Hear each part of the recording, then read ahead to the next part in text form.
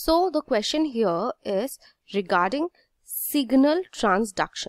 Alright, and they have asked that in signal transduction, which among the